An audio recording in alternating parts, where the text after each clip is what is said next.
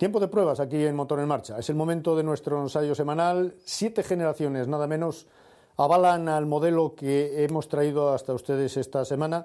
El Golf no tiene nada que descubrir a estas alturas. Es el modelo que más unidades ha vendido a lo largo de la historia de la automoción en el viejo continente y nosotros en esta séptima generación hemos optado por una motorización acorde con lo que quiere la gente ahora mismo. Mucho equipamiento, no exceso de potencia porque ya ni se puede correr y, en definitiva, para estar al tanto de lo que demandan los usuarios actuales. En la red de concesionarios Toyota de Asturias tenemos la mayor exposición de vehículos nuevos y las principales novedades del fabricante número uno del mundo. También una amplia gama de vehículos usados totalmente revisados y equipados. Visite Pelayo Motor en Gijón y Autoviella en Oviedo y le sorprenderemos. Concesionarios Toyota en Asturias. Todo cuanto el usuario necesita. Patrocina. Dedicamos eh, nuestro ensayo semanal en esta ocasión al Glove Blue Motion 1.6 TDI. Son 105 caballos. Es eficiente, es económico y además es líder. Volkswagen es la gran referencia en términos de movilidad sostenible. Uno de los modelos que mejor lo certifica es el Golf Blue Motion la versión más ahorradora de su segmento en la séptima generación de este superventas que con un consumo de 3,2 litros a los 100 kilómetros homologados y unas emisiones de solo 85 gramos por kilómetro de CO2 es uno de los modelos más ahorradores y ecológicos del momento.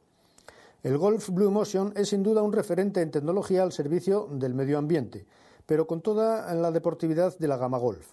El modelo de nuestra prueba equipa un motor 1.6 TDI con inyección directa de la nueva gama EA288 que alcanza los 200 km hora gracias a sus 105 caballos de potencia. En combinación con la caja de cambios de 5 velocidades y la tecnología Blue Motion con sistemas como el Start Stop, el de recuperación de energía de frenada y el de recomendación de marcha, este motor consume solo 4 litros de combustible a los 100 kilómetros. Tiene homologados, como hemos dicho, 3,2, pero a nosotros se nos situó en la citada cifra en circulación combinada. En cualquier caso, un 15% menos que su versión anterior. Las emisiones se sitúan en esos citados también increíbles valores de 85 gramos eh, por kilómetro de CO2, gracias a los neumáticos de resistencia optimizada a la rodadura y a las transmisiones más largas del cambio de marchas.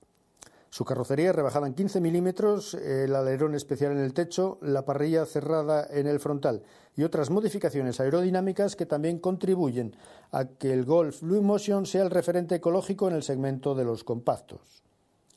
El Golf Blue Motion no solo sorprende por su eficiencia, también entra por la vista gracias a su apariencia deportiva. En el equipamiento de esta versión destacan los siete airbags, el control electrónico de estabilidad, el freno anticolisiones múltiples, el diferencial XDS o los asientos con sistema y entry, entre otros.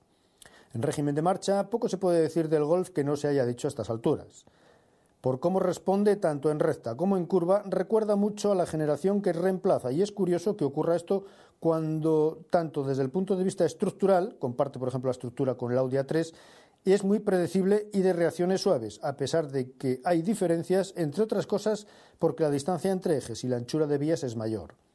No es un coche que cambie de dirección con facilidad, por ejemplo en curvas lentas de carreteras de montaña, aunque lo cierto es que transmite sensación de control y seguridad. La suspensión normal aísla bien a los ocupantes del estado del piso, aunque quizá un poco blanda, aunque hay varios tipos de suspensión posibles y es adecuada para la mayor parte de los usos y no supone un obstáculo para conducir rápido en zonas de curvas, aunque desde luego con ella el Golf no tiene un tacto deportivo. Quien prefiera un coche que tenga movimientos de carrocería más rápidos y que cambie de apoyo con más facilidad, deberá optar por la deportiva o la de dureza variable ajustada en el modo más duro. Una de las cosas que se ha cambiado de forma importante respecto al anterior Golf es el apartado frenos, al menos en su tacto, ya que ahora da la sensación de que en la primera parte del recorrido el coche pierde velocidad con más facilidad. Es líder europeo de ventas por algo y quiere seguir manteniendo este estatus a pesar de que la oposición del Focus, el CID, el Hyundai 30 o el A3 como adversarios más destacados se lo ponga cada vez más difícil. En la red de concesionarios Toyota de Asturias tenemos la mayor exposición de vehículos nuevos y las principales novedades del fabricante número uno del mundo. También una amplia gama de vehículos usados totalmente revisados y equipados. Visite Pelayo Motor en Gijón y Autoviella en Oviedo y le sorprenderemos. Concesionarios Toyota en Asturias. Todo cuanto el usuario necesita. Ha patrocinado este